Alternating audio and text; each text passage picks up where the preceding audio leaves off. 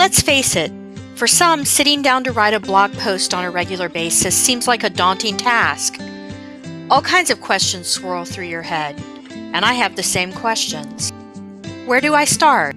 What am I going to say? How many words do I use? How do I get my point across? All of these questions swirl around in the mind of a novice blogger. Even more experienced bloggers have them. But see, here's the thing you don't have to be an eloquent writer or a prose master to write a blog post. You just have to have something to say that will resonate with your target audience. They aren't looking for a masterpiece from you, usually just some useful information on a subject they're interested in. So, what do you do when it's time to start writing and you're feeling like a deer in the headlights? Sometimes just having a general outline can help kickstart your creative juices, so I'm going to construct a template to help you get started. First things first, have a compelling title.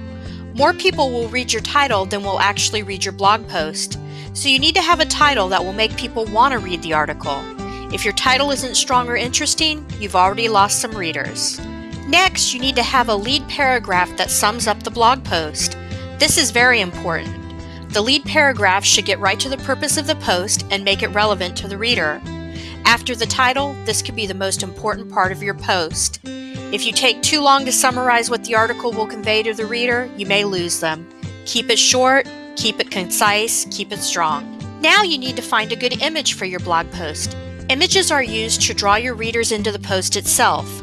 Find an image that relates to your article and feature it prominently. But that doesn't mean you can go online and search for any old image to use.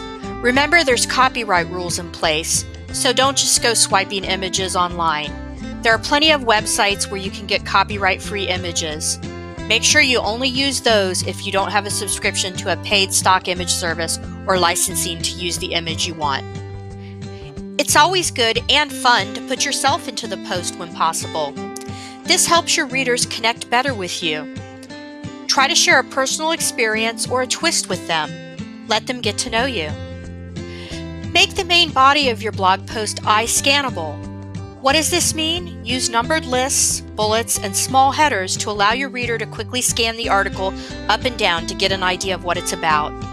Nothing's more daunting to a reader than looking at a page that just seems like endless long paragraphs. Use these callouts to break the page up. Some other ways to make your blog post more readable include using shorter paragraphs. Try to stick to three, maybe four sentences per paragraph. If you do more than that, the page starts to look like it's going to be a chore to read. Write in shorter sentences. I personally struggle with this one because I'm the queen of run on sentences, but I do suggest you try to avoid them. Shorter sentences make reading faster. Sometimes one of the biggest obstacles to get people actually writing on their blog is the fact that they think every post has to be long. While it's good to have some longer form posts, not everyone needs to be filled with tons of information. Keep many of the posts short. I would aim to have at least 3 to 500 words though to help you with your SEO. Another thing that a lot of people forget is adding links to their posts. When you write a post, be sure to include not just links to outside sources, but also internal links to other blog posts on your own site that are relevant. This helps keep your article shorter since you can direct your reader to a different post to expand on a point you're trying to make. Plus, you keep your reader on site and moving through other pages of your website. That's always good for SEO. And finally, end your post with a discussion question. Try to end your post with a question to the reader to encourage comments. This is, of course, if you have the commenting system turned on for your blog. Hopefully, this outline has given you some ideas to kickstart the blogging process. If you would like to have this information in a form you can print out and keep, head over to my blog at norakramerdesigns.com and search for How to Write a Blog Post for Beginners.